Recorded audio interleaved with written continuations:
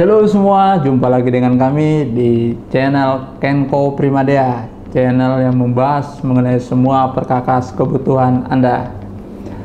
Oke, di video kali ini saya akan mencoba memperagakan bagaimana cara memasang script di orbital sender. Ini orbital sender. Orbital sender menggunakan pneumatik.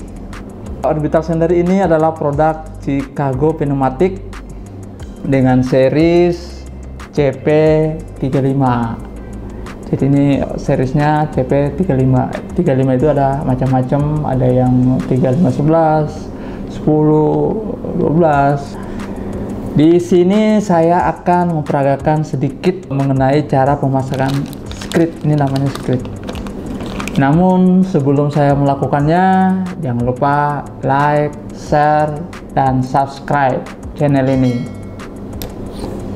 Oke teman, di sini sudah ada unit orbital sender, sudah ada namanya spare partnya, ini namanya script, dan ini ada obeng, ini adanya punch, center punch. Cuman center punch ini udah harusnya ini lurus ini. Cuman kita menggunakan ala kadarnya apa saja yang ada di sekitar yang dapat membantu untuk memasang ini. Nah, itu yang kita gunakan. Sebenarnya kalau untuk di workshop sendiri sebenarnya udah banyak harusnya macam-macam sesuai dengan fungsi untuk uh, penunjang ya pemasangan uh, script ini. Cuman di sini saya menunjukkan uh, yang ada di sekitar yang dapat membantu untuk memasangkan ini. Oke mungkin kita lanjut. Kita buka scriptnya.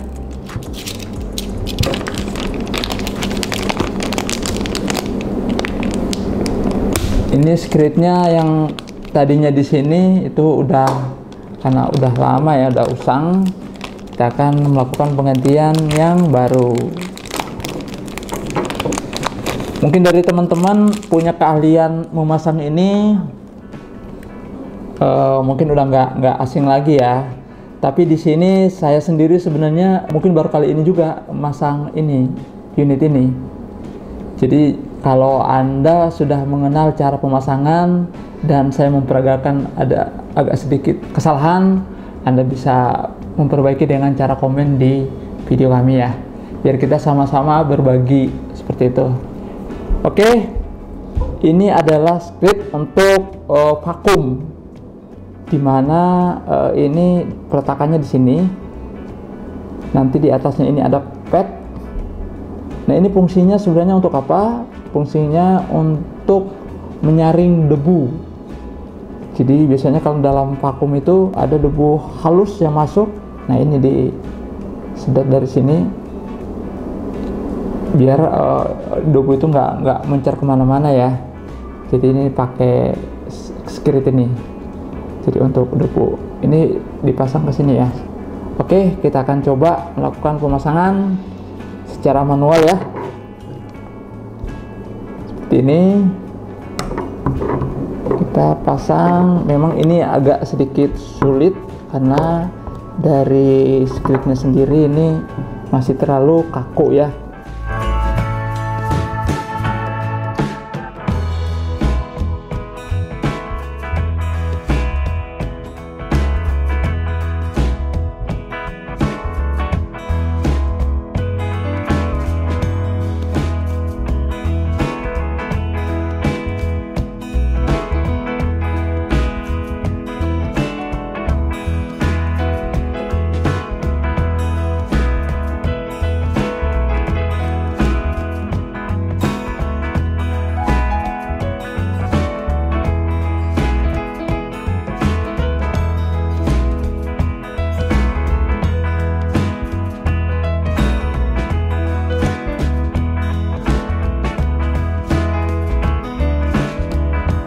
Jadi unit ini sendiri memang cukup mudah ya kalau kita melakukan penggantian scriptnya ini untuk vakum.